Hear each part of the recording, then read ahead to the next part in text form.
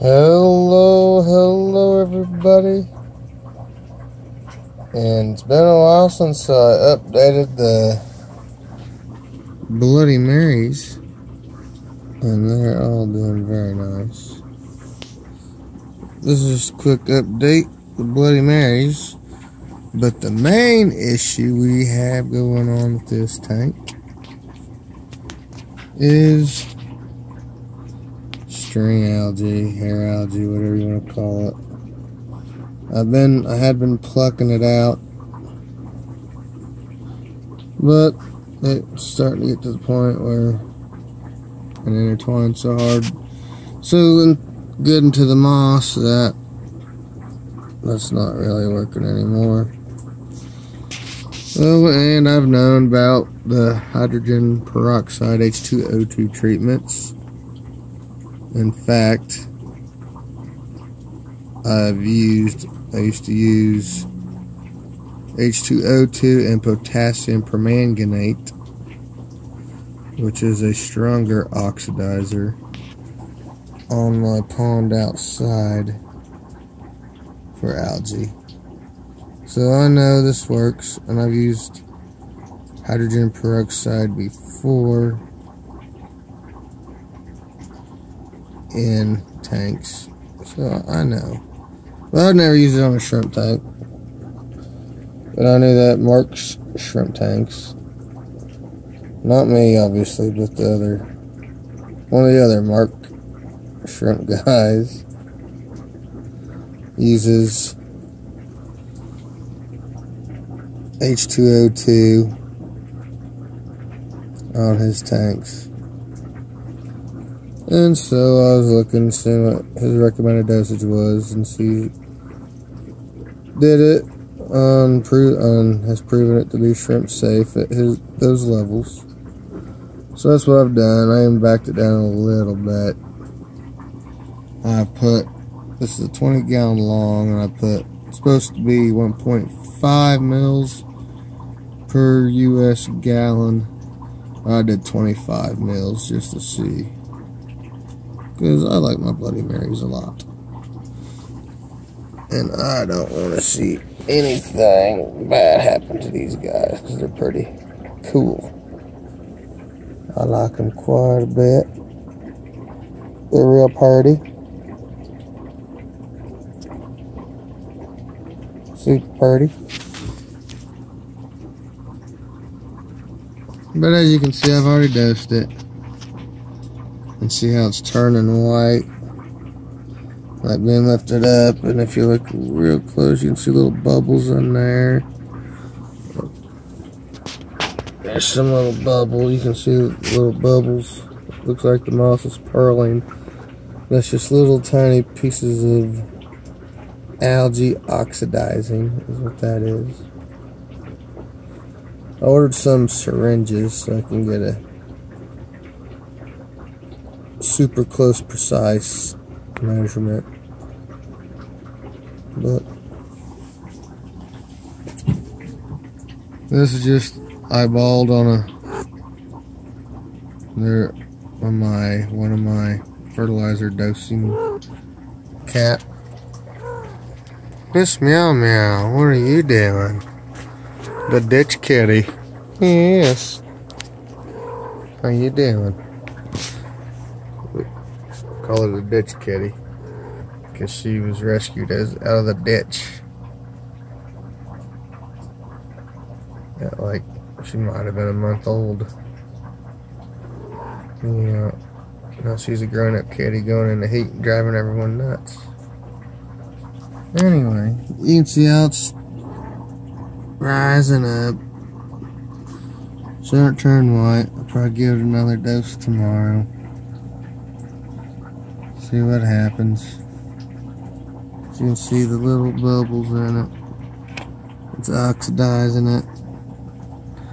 The shrimp are all just fine and dandy. I put that in probably an hour or two ago. So, it is certainly 1.5 mils a gallon. This Is definitely a safe dose for shrimp.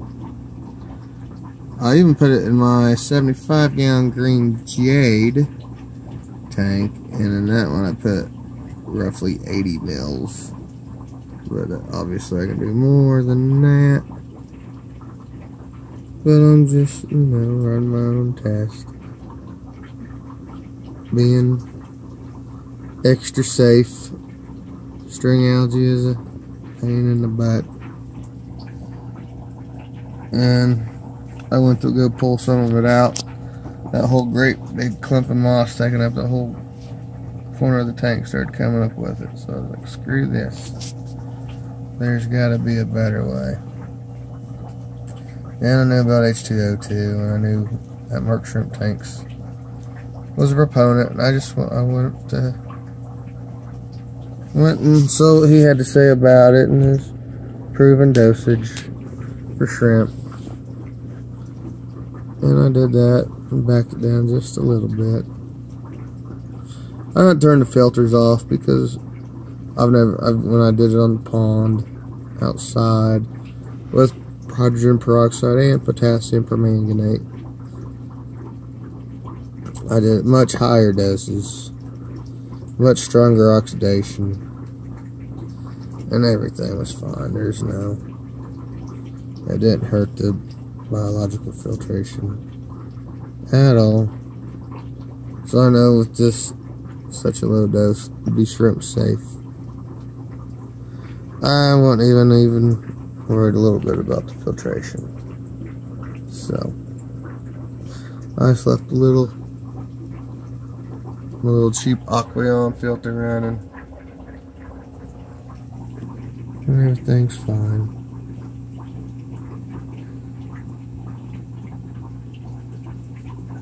So we'll see. This little will probably take a few doses, I imagine. Kill it all. we'll see. If I can get some good shots of these Bloody Marys right in the video. If the cat will get out of my way.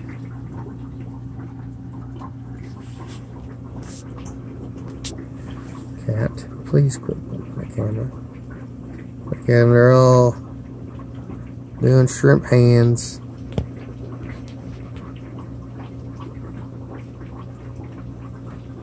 Eat, eat, eat, eat, eat, eat, eat. Little shrimpy, shrimpy, shrimpy, shrimpy, shrimpies. There's a lot of them in here. This colony's really doing good.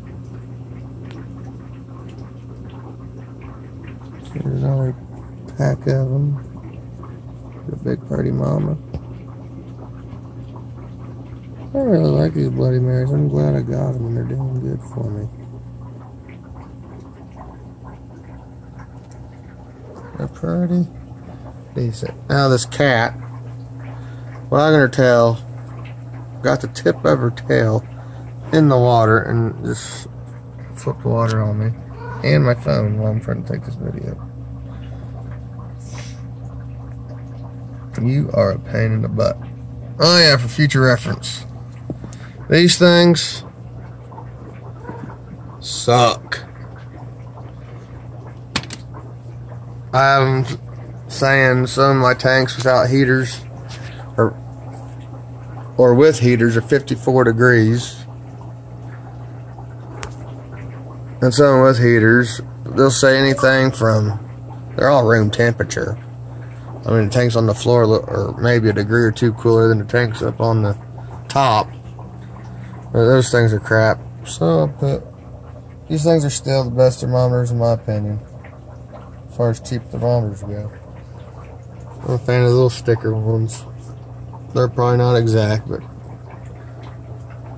them digital ones, them cheap digital ones, they're good for a while, but I think when the battery starts getting low, they go to crap. Cat, meow meow. Are you going to let us do this? Huh? You to let us do this? Okay. Uh, get some Bloody Mary close-ups. Oh my God, cat. There we go. Now you're gonna go behind the snail shell, big berried mama. There you go.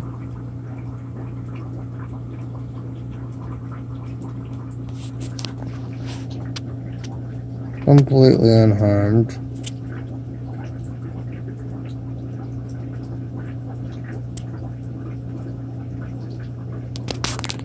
By the peroxide treatment.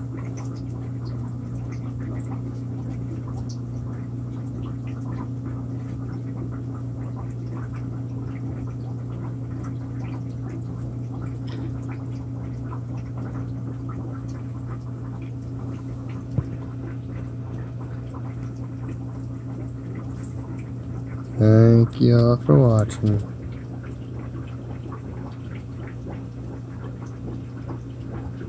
Bye.